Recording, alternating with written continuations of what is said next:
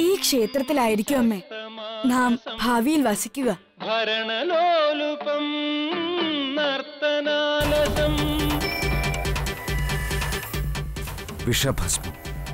അതിന്റെ പണി ആരംഭിച്ചു കഴിഞ്ഞു.